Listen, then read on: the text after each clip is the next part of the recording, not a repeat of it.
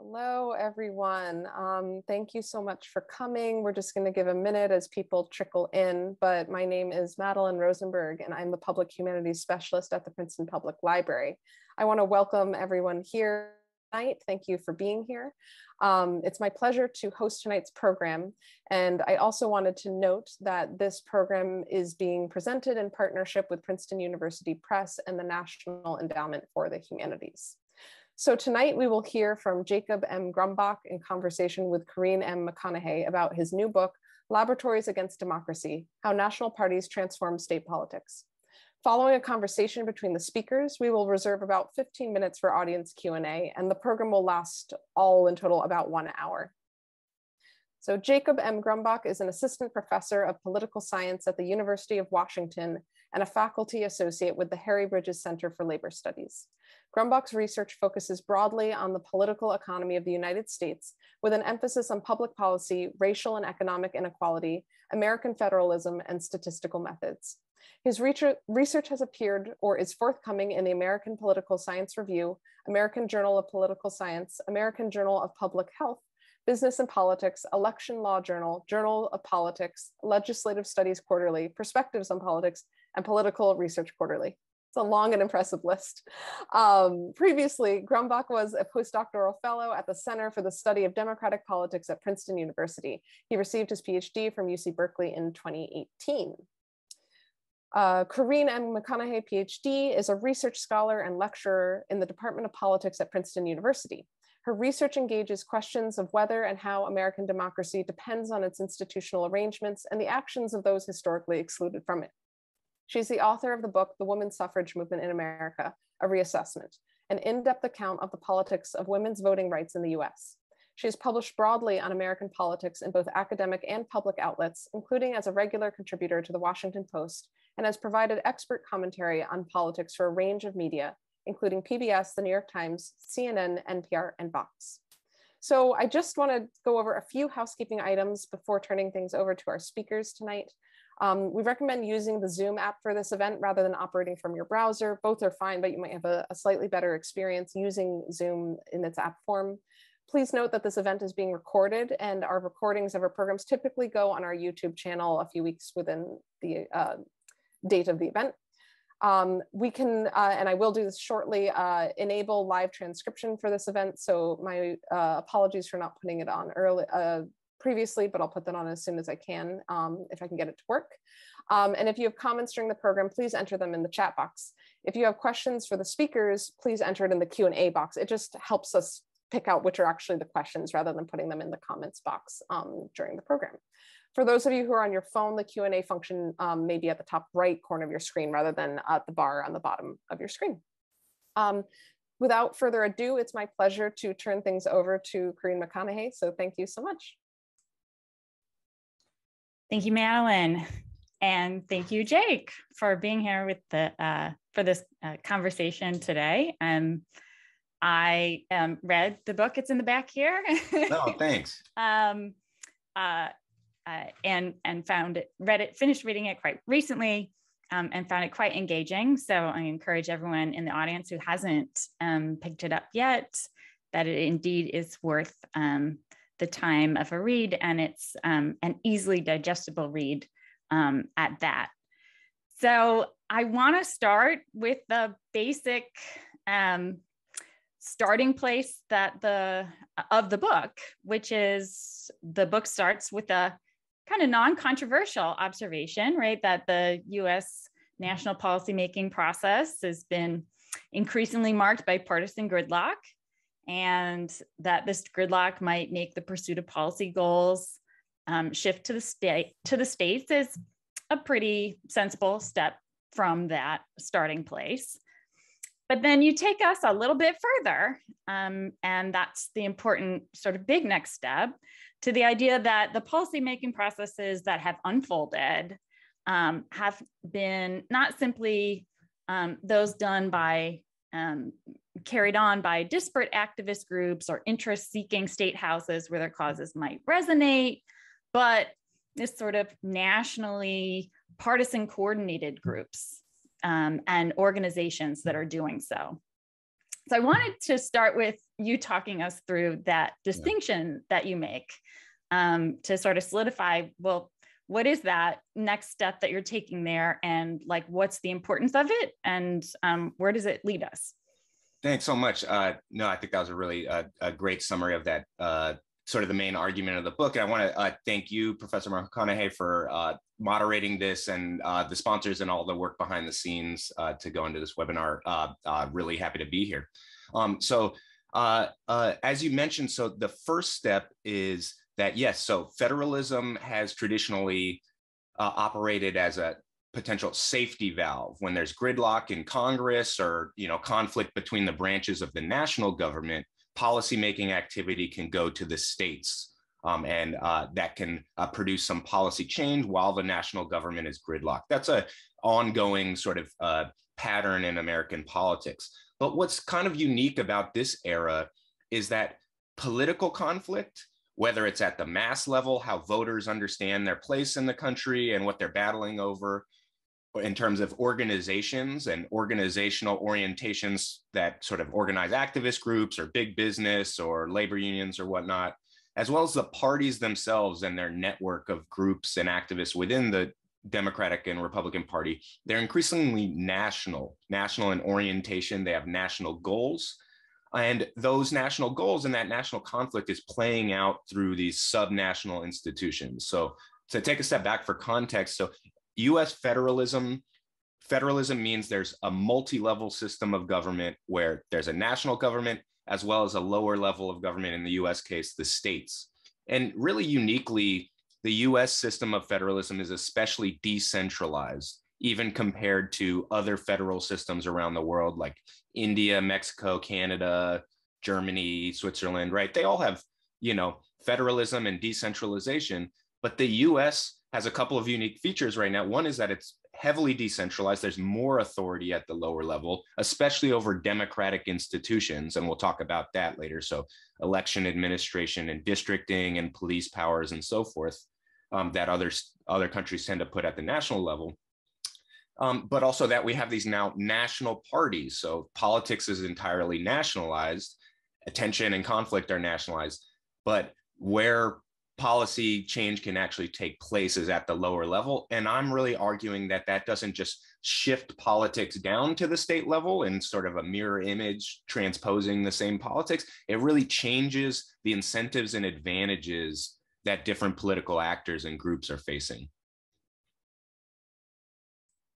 Right. Yeah. So in in doing so, you introduce this for for your for your book's case this this important set of of actors in this story this nationalized connection um, story this particular version of federalism that you claim that you're illustrating for us and explaining um, so i wanted you to help me understand these yeah. key actors that you introduce. And you call them in the book interest group activists.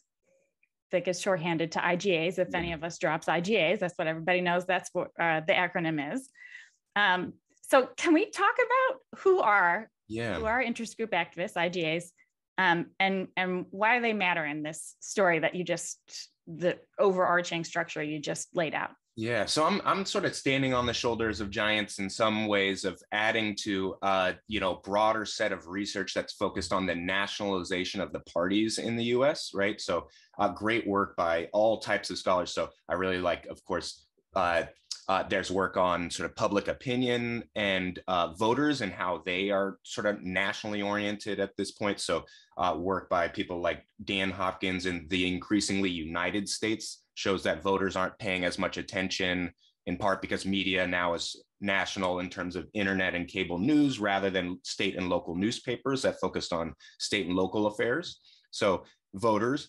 And then I think even more importantly than that, you get a set of actors that people like uh, Alex Hertel Fernandez and Theda Skocpol have focused on, which is sort of the super elite groups. Uh, the American Legislative Exchange Council, which passes around model bills to sort of unprofessionalized state legislatures, and uh, that's you know helped uh, produce the wave of, for example, stand your ground gun laws in conservative states and deregulation of uh, you know extractive industry and all sorts of you know uh, uh, waves of state level policy that have swept for example, the Midwest as they became Republican in the 2010s.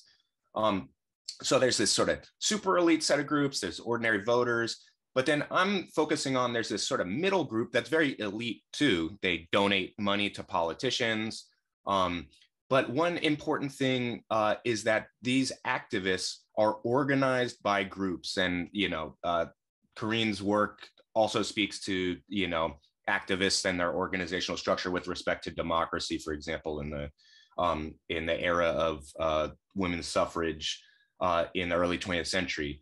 But these groups, it's really crucial that these individual activists are organized by groups. So uh, since the 1970s, you've seen the rise of national activist groups, the rise of, on the right, for example, uh, the organization of uh, gun rights activists through the NRA and uh, the sort of uh, right to life and conservative evangelical movements with respect to reproductive rights and abortion that we've seen, you know, have been highly successful over the past uh, generation or two it's really important that these groups are coordinated. These individuals are you know not just a lone person who really likes guns or you know on the left a lone climate change activists they're affiliated with national groups that they donate to and are members of. And also those national groups help to inform these activists of how to get involved in state and local politics where they don't tend to have much information. So how to you know i'm a phd in political science I have a hard time voting in state legislative primaries, right? I have to read a lot. I don't really know, you know, for state senate in my district, you know, I moved only a few years ago. It's hard to know like which of the same party to, you know, support the issues I care about. And groups like the NRA or, you know, uh, groups like uh, uh, MoveOn.org in the early 2000s really innovated with the use of, for example, the internet to say, okay, here are some endorsement lists in, for example, state and local primaries, and also donate to us and we'll fight nationally as well as in, you know, state and local politics for a particular issue.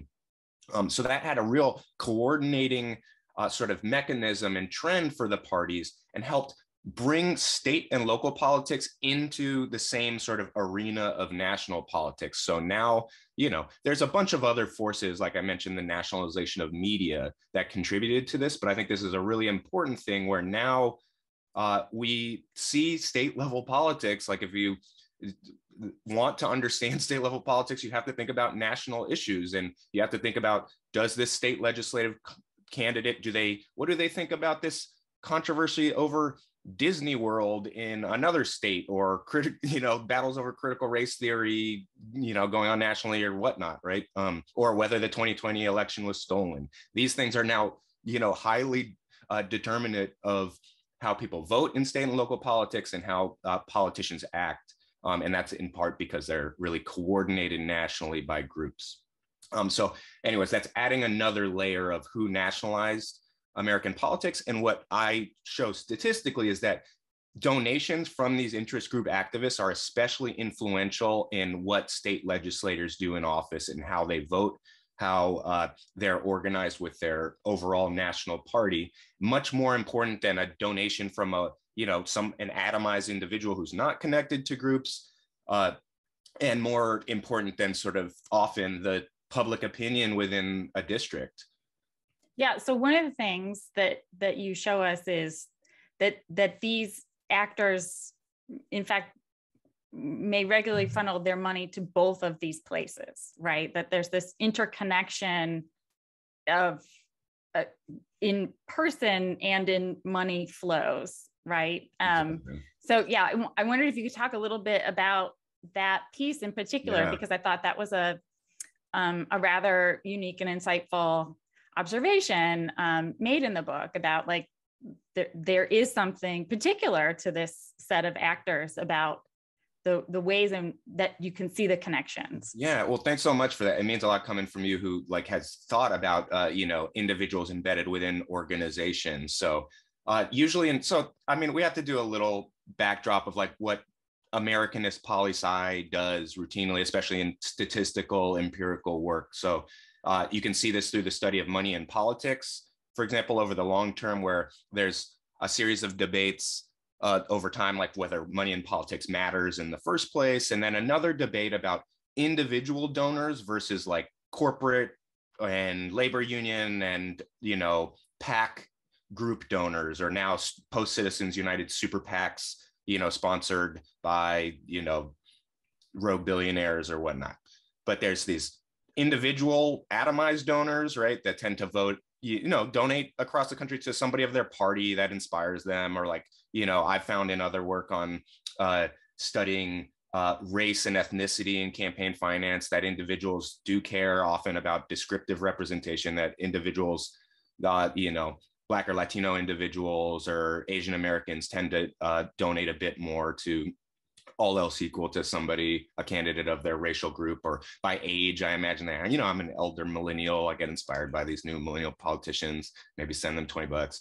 But like, this is sort of separate. Uh, that's a highly individualized way of looking at those individual donors as some, you know, there's some huge firewall between them and these groups like businesses or the National Resource Defense Council or, you know, uh, focus on the family or one of these groups. But what it turns out is groups are, you know, networks of individuals. Like, and what that means is we can, you know, in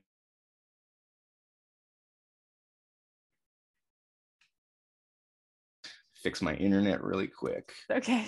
I'm um, sorry about that. Um, connection stabilized. Um, but uh, really, this is uh, these groups are not so separate. So individual, I tried to track individuals who are donating, for example, to the NRA nationally, like you said, and also to state level politicians. And those people are especially influential, I think, for a number of reasons. One is this information they get from the group on how to act in state and local politics to facilitate the movement. Um, you know, the NRA has, for example, like a little app on its website where you can find, uh, you know, informate a script on how to call your state legislator and what to say, right?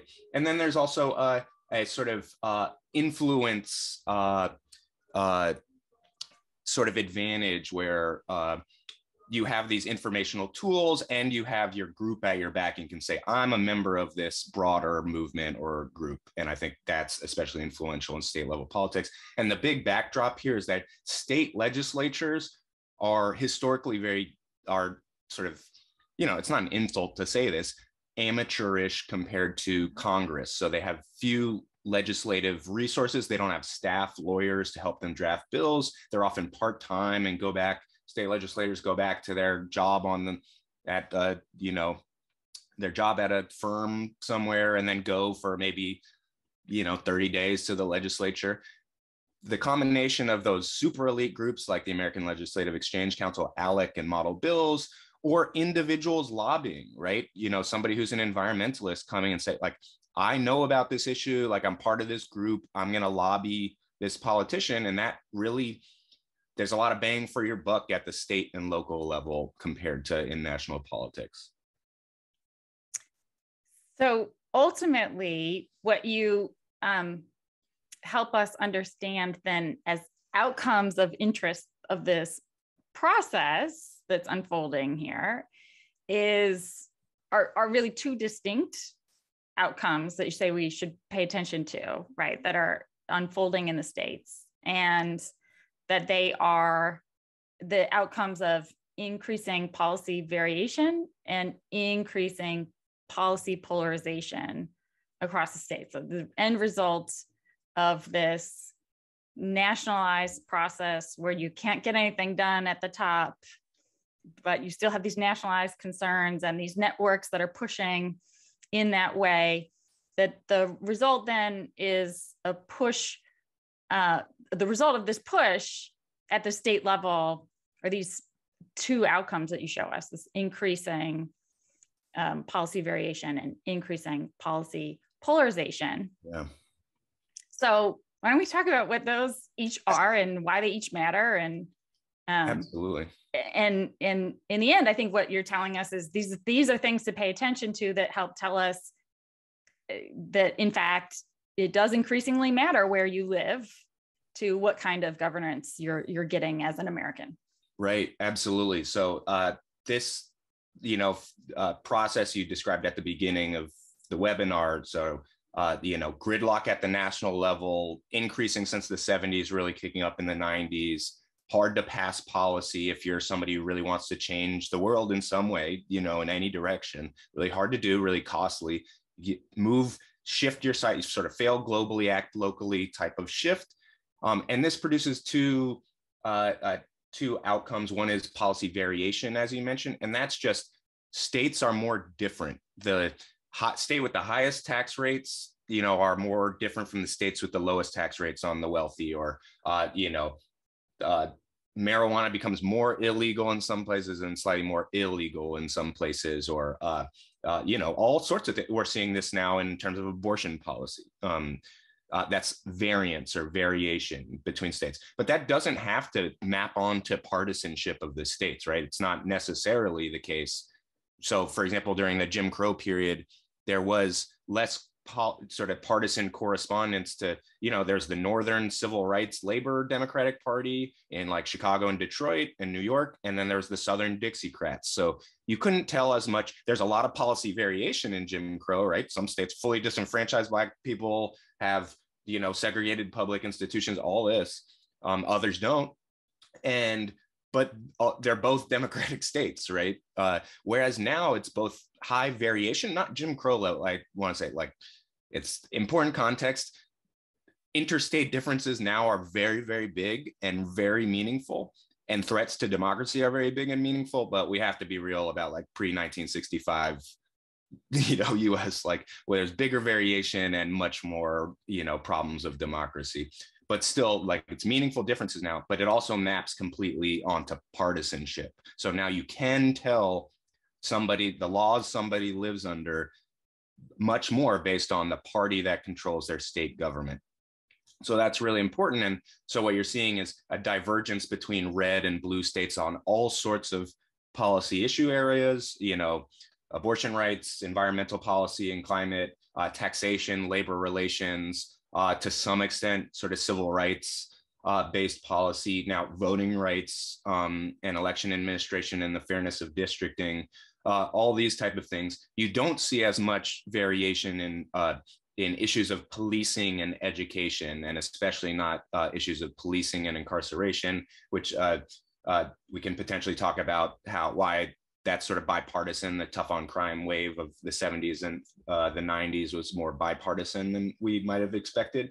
But uh, the rest, you see this big divergence. So now the state you live in is much more related to the tax rates you pay, whether you can get a legal abortion, whether uh, you're allowed to emit, you know, various forms of pollution or the ability to get, uh, you know, clean energy uh, all of these things are now more determined by your state of residence than they were in the 1970s. And that's due to a combination of states being really active and the national government not being as active. Whereas in the New Deal through the civil rights era, through the sort of increases of regulation in the 70s, you saw the national government set floors across all sorts of policy areas. So now there's Social Security. So it's not like patchwork old age insurance systems state by state. You create a national minimum wage that's at a high level, so there's not as much variation across states. You know, Roe v. Wade legalizes abortion nationally in 1973.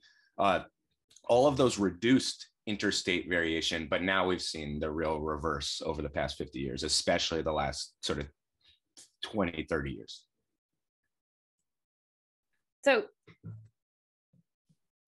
as you just alluded to, you, you show in the book quite a, a, broad array of policies where we can we can observe right along with you this this increasing both variation and polarization. The visualizations are really good in the book, oh, so I'll, no. I'll, I'll um, nudge on take a look at the book um, itself, um, since I can't throw those up on the screen at the moment, but. Um, so when I say you show, you really do show, right? Illustrate these um, uh, patterns pretty clearly, but then you you do show this this this divergence from from this from this broad pattern across this um, you know this really broad range of kinds of policies and then we look at criminal justice as you just said policing and criminal justice and and these things are not like the others right, right? like the just the graphs don't do the same diverging right. and um, uh, and, and, it's just really not hard to see Um, and so with that striking of a difference, like what do we what do we pause and take in there? So yeah, thanks. I think this is like if there's any like grad students watching, like I think one of the most important puzzles like in American politics right now that we need hot new dissertations on is this puzzle of sort of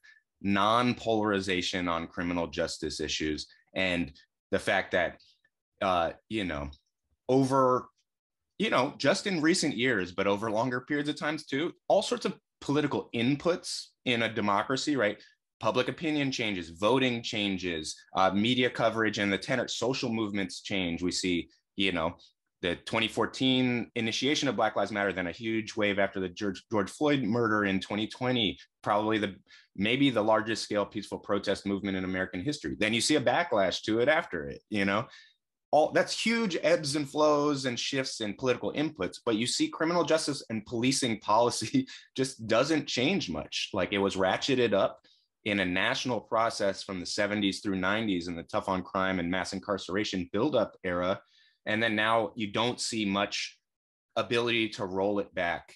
And there's different theories of that. So i have some i do a little bit of theorizing in the book of why that may be the case. But i think again it's like a huge opening for grad students uh, social scientists others. Um, and you know other disciplines like history have really uh, you know people like elizabeth hinton and history and things have really done some great work on this as well. But i would say i used to think okay it may be that you know democratic state and local candidates who run on policing or carceral reform don't actually want to do that and it's kind of a messaging that was like an initial theory of okay all these reform minded democrats come in but they don't really want to reform it when the rubber meets the road but then more recently i think we've seen a, a number of important cases at the state and local level where it seems like reformist candidates uh, and incumbents do really want to change policing and incarceration and criminal justice policy in their areas, but don't really have the institutional capacity to do so. And I think that's a somewhat a product of this decentralization of American federalism, where in most countries, in most developed democracies, you have a national hierarchy of police forces that's more like the military in the US, and you have incarceration more nationally administered uh, administered. So i think it's a thing where for example i think the new york city local government does not have the capacity to uh, you know reform uh, the nypd which has a separate sphere of institutional power on its own that has many tools to resist institutional reforms through democracy. Um, i'm interested in pursuing more work on sort of why police departments are institutionally insulated from democratic inputs like that. Um, and then also in the, um, you know, in mass incarceration, to the extent we're seeing decarceration now, it's much more bipartisan than I think we uh, expected. Um, some extent, there's some like true believer libertarian uh, uh, center right and kind of far right like decarceration involvement that's interesting like i think there's more to be understood with that but also just uh, you're seeing nationally uh, the trend uh, sort of in mass incarceration is much and sort of incarceration rates are much more determined by the demographics uh, uh, of a state than by its partisan control. But again, I think huge puzzles here. But uh, we're seeing kind of a flip side of so abortion policy is a kind of uh, mirror yin yang version where public opinion and political inputs have actually been pretty stable 61% support for legal abortion forever you know, and the group coalitions, you know, there's been the sort of evangelical anti, you know, anti-abortion scene. There's been, you know, key Planned Parenthood and reproductive rights activists and the women's movement so much. It's been pretty stable politics for a generation. And then you see this massive after like political investments really paying off in the Dobbs decision uh, and uh, some states pursuing full uh, bans on abortion in really unprecedented ways. And that's kind of the, you see huge policy change without much change to political inputs, whereas in incarceration, you see massive fluctuation in political inputs, but not much change in policy. Yeah, it, I think these observations are, uh, you know, really important pieces of the particular take on federalism that that you're that you're offering your reader. And I think ultimately, um, I think it's fair if I say you're a little a bit uh, you're a pessimist yeah. um, on on um, federalism. I I read you as ultimately arguing, you know, that that federalism and and and yeah, we can talk a little bit more. I I think um, even still here about the particular brand of federalism right. that um, right. that the U.S. has. You know, there's you know, welcome to our field where those of us who study American politics are often deemed a bit parochial and like we believe in American exceptionalism. And then sometimes we say, but no, but really, the US really does have this really unique set of institutions. Um, and, and I think the, the particular brand of, of federalism, I, I think it's probably um, fair to say that you and I, as, as scholars, um, agree on that um, piece that, that um, that that federalism matters and then that the particular version of it that the US has is is unique and and it probably is really worth our time to to understand what those exceptional pieces um, really do. So I read you at the end of the day of you know some of this is not you know just which is to say some of this pessimism is not just you out in left field by, by yourself um, uh, right ultimately having an argument um, you know that builds on on previous work on you know well, well exit options you know right, like right. federalism can be a problem because you know um, those who have lots of of resources and a, a, capacity to coordinate those resources well they can just move themselves a, across this checkerboard um, and and those interests in us democracy who don't can't right and so right. there's both the idea that so hey uh, there's a market or right a, a, checkerboard out there that you can move around well but maybe some interests maybe there's really good reason to believe some interests can do that and some can't yeah. um, and you know if we if we care about democracy in the sense that we care about how ordinary citizens um, have their interests represented then maybe that's a, a strike on the on the federalism pessimism um, side. So you talk about um, exit options and venue shopping right. too, um, uh, which again is a um, a previous critique that you elaborate on um, right. in the book, right? Like again, the the idea that you know, hey, you, I, I if I'm well organized and well resourced, I can look around and figure out where's the right place and right time to um, push my issue forward, and then I can build momentum from there. And um, but you know, if if I'm just ordinary folks in a community and been here generations and we're trying to solve a community problem, I, I don't have as many venue um, shopping opportunities. Um, and, and well, and if there's gridlock, I can't even sort of try to make a national issue out of my my local one um, anywhere. And then that's, I think, um, you know, part of your unique critique about exit options and venue shopping is like, so in an era in which you know, escalating all the way to the top by sort of, you know, trying to grab national headlines of, hey, we're being persecuted over here. That like where where's where's that option even um, anymore? I think that there's a way of thinking about um, your story about the particular era we're in and and how that has a unique um, you know sort of further dampening on some you know uh, particularly vulnerable um, and their a capacity to to venue shop yeah. um right? And then ultimately the idea of like resources that it takes to to do all of of this um you know understanding the whole checkerboard and um, knowing what its pieces are. Um, and as you were saying earlier particularly in an age where we have the decline of local right. uh, news the decline of you know your your um, city the city newspapers that used to you know it used to be a thriving business to set up newspaper shop in the state capital and and cover what what what happened there on the day to day um, and and lucky for those of us who study political history because there yeah. are reams of evidence in those newspapers about what was happening on the day to day right and um, but pointing out that that is not right okay. that's not the information environment in which um, american citizens find themselves today so um, federalism pessimism. it's so nicely put. No, you outlined so many crucial uh, sort of pieces of this.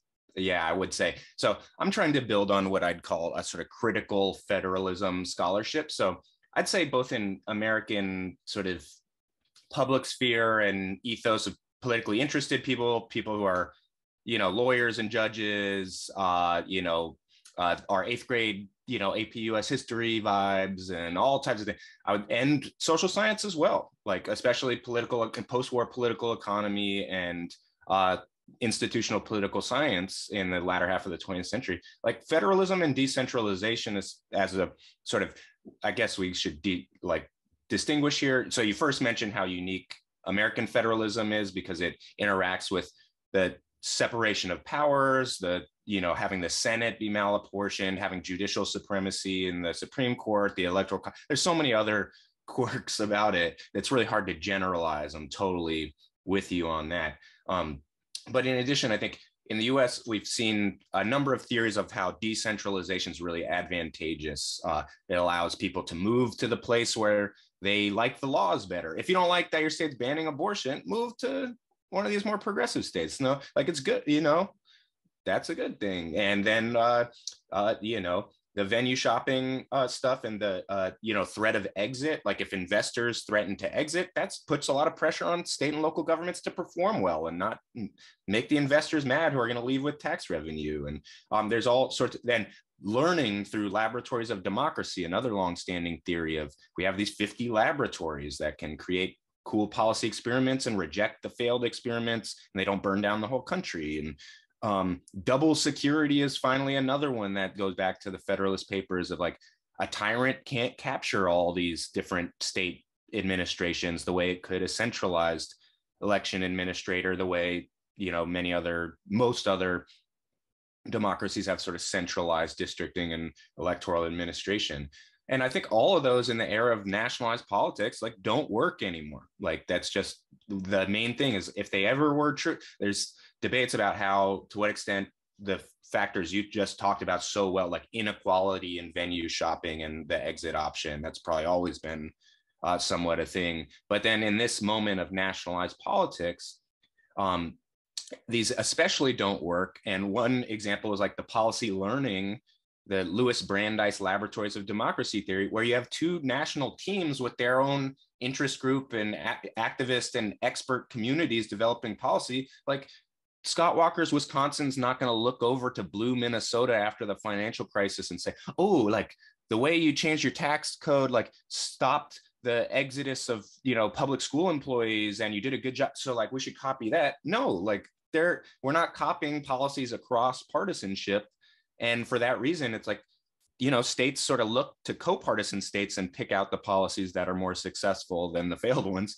but they're not looking across parties so makes the laboratories of democracy mechanism much weaker if existent at all um, as you know along with many of these uh, uh, sort of issues you uh, just mentioned. I think the double security one in the Trump era, we've heard a lot. Like, you know, thank God for federalism and decentralization in a time of a would be autocrat that was described by the Federalist Papers. And, you know, California's election administrators are never going to like buckle to Trump's and so forth. But I think that I'm trying to illuminate under huge uncertainty because it's so hard to generalize across institutions like huge, huge grain of salt. I'm saying we have to engage with the critical federalism theories. And one on the sort of security of democracy idea is that actually decentralization of democratic institutions helps increase the probability that a would-be autocrat takes national power. So certainly when you have a would-be autocrat and national power, you don't want to centralize everything and give it to them. Like that's that's very clear. At the same time, over long stretches of time, or just a decade, I think democratic backsliding in states like Wisconsin and North Carolina, like really does facilitate and presage because again, states administer elections from local dog catcher to US president. And now we even see if this independent state legislature's doctrine of the Supreme Court goes through, like some legal experts think it may, a single swing state legislature could throw a presidential election through electoral subversion. That we have to think about how these state level institutions can propel anti democratic coalitions to national power, and not just how once they're in national power, they can't capture all these decentralized institutions. So we have to take that seriously among all these other ones you talked about. But in this critical federalism scholarship, just shout out like Jamila Michener, uh, Lisa Miller, um, uh, others, Des King, others, uh, mostly qualitative institutionalists, historical institutionalists have really, uh, I kind of, I don't know, a lot of my career is putting like Greek letters and equations on uh, great theories that historical institutionalists have developed. And I'll contrast this to early period, earlier periods of American history where decentralization may have really facilitated democratic expansion. And I think, you know, uh, Corrine, your book like is an example. There's a lot of unique things about this period. I think the focus on like that uh, the suffrage movement uh, was uh, helped by connections to third parties, for example, in the early 20th century. Like this is it's unique and a bit different. And I think that was an era of some national polarization too, not as much on like racial conflict because it was the uh, you know post Reconstruction long Jim Crow period. But I think uh, it's worth thinking about what's different there about times when parties compete to expand their uh, democracy to new voters and a time like this of two national coalitions where there's clear incentives, especially in one party, to use subnational institutions to increase your advantages through re- making democracy less fair, open, accessible, equitable. Yeah, so I think that that's um, that's a really you know great set of questions about what what diverges across the span of of American history that you know that gives us times where federalism isn't part of the expansion story. Now, of course, we might ask if expansion could have been quicker if we didn't have right. um, the version of federalism we have, which Certainly. to be clear is a version, like you're saying, where states are vested with power to decide all the things about how we cast votes, who and how we cast votes. Um, with a few cup, you know, with just a couple of explicit prohibitions about these specific criteria can't be used to disqualify people from casting a vote. Like, other than saying you can't explicitly use race and you can't use sex, um, and you can't use age across a certain age threshold now, right? But other than those specific characteristics, that's it, right? right? Like the states get to decide everything else about who gets to cast a vote, when, where, how, um, and they can change that. Some of those pieces really easily, and others of them are really hard. And um, right, and so I think that there is a lot to that uniqueness of um, American federalism in that specific way, right? Like the the way that federalism is wound into the who, right? right? Which is not just that federalism is policy area, but it's literally about um, who's a citizen, right? Who's an acting citizen, right? Um, and and part of the electorate. Um, even for national uh, offices um, is very different. I, I want to so give a plug for that. We're open to um, to to questions um, from from the audience or or comments if you want. Yeah, I'm happy to take comments and also sort of push um, uh, the conversation. Our our you know last um, 15 minutes of the conversation in in in any direction. Um, uh, so questions and comments. And I see smart. I see smart attendees in there too. There's some. Yeah. Great um, so please feel free to um, to to drop them in for us. So that's my plug at it. And we we Jake and I think could talk all day, um, but but we're absolutely um, open to um, to to audience input. Um, yeah, and there's a lot of going on in American politics with as it turns out. yeah. Um, um, but uh, yeah, no, I think uh, uh, I think that's all really, really unique and crucial about American federalism is the democratic institutions being at the state level there. And I think, uh, you know, want to really talk. Uh, I recently wrote a, a, piece for Politico and uh, co-authored a piece with Chris Warshaw in the Washington Post Monkey Cage on the Dobbs abortion ruling. And there, it's very clear that gerrymandering, again, state level drawing of districts, really, really matters for whether states are responsive to their public about its abortion policy. So now you have some states where a minority of sort of anti-abortion voters can the majority of the state legislature due to gerrymandering.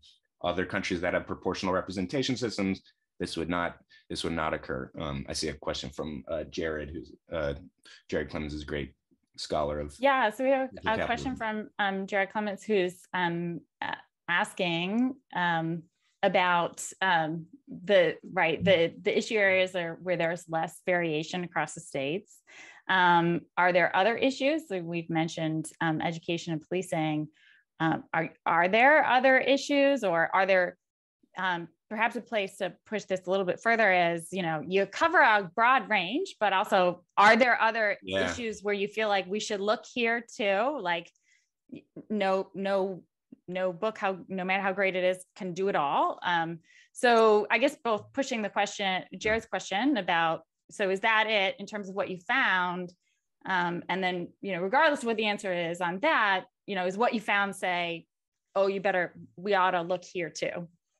Yeah no i think that's great. And since it's uh, jared clemons asking this in particular it inspires me to like think of brought you know uh who his work has pushed me to think bro- more broadly. So i'm looking like within things that come on the agenda of us politics. Like i'm not zooming out to like how could we construct a political economy and policy regime that would be you know fair just equitable responsive uh accountable and all these sorts of things sort of zooming out further. So i think uh we could talk about bipartisan uh, uh, sort of consensuses that haven't moved with respect to a lot of issues like uh, uh, the sort of issues of the economic system, issues of foreign policy and war, right? Issues of international relations. For a long time, issues of immigration had a sort of business policy centrist mm-hmm. consensus mm-hmm. that Donald Trump really dismantled um, and the Tea Party to some extent did as well. But I think that's really important to say is that you're right. Like I'm looking within a narrow band of like partisan competition, but we can think more broadly about what uh, you know theorists of democracy and justice, as well as social movements and activists, have pushed for. And there, I think you're right. Like there were, I think it's changed. There's been some important differences now, but it's true on some of my other work with Paul Frymer uh, looks at the importance of labor union membership in uh, preventing a sort of resentment based politics among white workers, which has been key to the rising authoritarian movements across the world in the 20th century is like resentment based politics, especially against new immigrants or uh, ethno-racial or religious minorities, right? How to avoid that. One key is labor union membership. And the Democratic Party was not as much of an active destruct sort of destructor of labor unions since the you know it's they're uh, they were much more prominent uh, a generation ago, but they definitely did not actively pursue labor policy. Now the PRO Act nationally would set again, as national policy often does, would set a national baseline of sort of labor union organizing rights and would essentially overturn all the right to work laws in the states, some of which in the Midwest work by Vanessa Williamson and Alex Hertel Fernandez and James Feigenbaum has really shown has been a huge, huge force in moving votes to the Republican Party among especially the white working class. Um, and you know, many of these national and state level elections would have been different absent those policies. So uh, that's just one uh, one of many uh, areas. If we zoom out, and that's why I think uh, you know scholars like Jared Clemons thinking about you know issues of racial capitalism and political economy more broadly is really important. So you um you you made a, a plug for political theorists are are are worth their salt. And so our next question is from someone we know to be a political theorist and kevin elliott's in the chat here with that question. Um, asking what you think about the guarantee clause as a basis for federal intervention um, in anti-democratic state politics. So is there do so, can we talk about do we have a history here and um uh so to the extent we do or don't is there um is I love that, that closed window I love that question and Kevin would be a, more of an expert on this than me but I would say uh so one key issue here. So constitutional clauses like the guarantee clause, like do set boundaries, but we have to think about. Uh, I think we've really seen over the past decade, decade plus, that American politics is much more structured than we thought by norms and interpretations of clauses and rules than by the rules to some extent themselves. And that's a frightening place to be in, that this was held by like elite norms of reciprocity and like statesmanship and this stuff. That's a frightening place to be like, wow, this could all really unravel. Um, so I think the non-enforcement of the 14th and 15th Amendments are good examples here of you can have very clear language. Uh, 14th Amendment, equality under the law, 15th Amendment, uh, you know, no discrimination in voting on the basis of race. That's all before Jim Crow, you know, and mm-hmm. like the enforcement of the 14th Amendment would make all that, you know, totally unnecessary. So I think the grandfather clause is another like sort of example of this, as are other constitutional clauses of like the national government could, if it sort of interpreted and the political power was, uh, you know, marshaled in that way. But I think the political capacity is limited. And I think here we're seeing this in judicial politics very clearly, where there's been a side like the Democratic Party and I think mainstream law you know, going back, it's really nice seeing some judicial politics scholars really focus on this. There's been a sort of mythos of like, you know, this is about, we all believe in like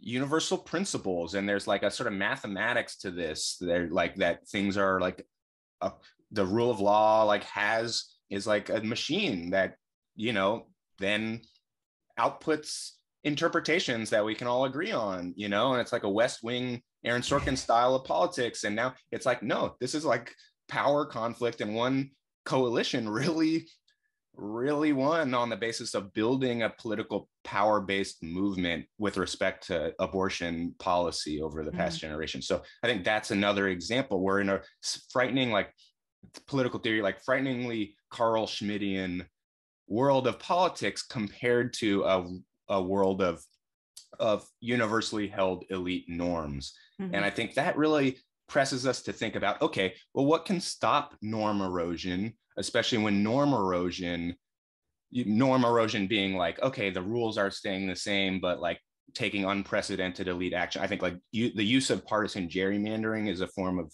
norm erosion or election subversion. A lot of this stuff seems, I'm no big city lawyer, but it seems like kind of legal, like to, you know, and uh, the establishment of what sort of rules could enforce norms. And there, I think we get into questions of like, is it okay to erode norms to pass rules to protect other norms? Things like that are really important questions for especially the contemporary Democratic Party. But that's a really, really good question. I think it's a, it's a, it you know that's a scary moment to see that you know norms have eroded uh, to such a point and that there weren't formal rule-based procedural mechanisms to stop it. Mm-hmm um, yeah, there's what's there's what's written, and then there's what what the system can do with what's written, right? Um, in in any moment in time, and I think again that that's a a strength of the case that you make in the book is that there's the rules of this system, and then there's how it's functioning under the particular right in this particular era right. of this particular brand of nationalization polarization um, of the parties. And I think, you know, to kind of go back to alluding to, you know, hey, if you want to read my book too, you can. Uh, I can't promise it's as easily readable as as Jake's, and might really have me on that one. But if you if you like history too, um, uh, but I think that that is one of the you know the the the the key differences here is that uh, in the uh, you know in the in the era in which we're we're having expansion um, with with greater regularity not easy expansion um, but where we're having and and i want to be clear i think i i i think the era i you know of my expertise is an era i would call of, of dynamics um, more than just expansion across the board but i but i think this is part of of this important difference is the the the idea of um, how much organizations and activists are tied into these polarized nationalized parties and so right. we have polarization as you alluded there's polarization um, and you know that that you know that exists in part of this expanding era um, but one thing that is um, pretty pretty actually unique i argue about the suffrage the women's suffrage movement is the extent to which it's not it's it is it is deeply committed to never becoming beholden to a particular um, party as an as an activist organization. So there's a resistance, right.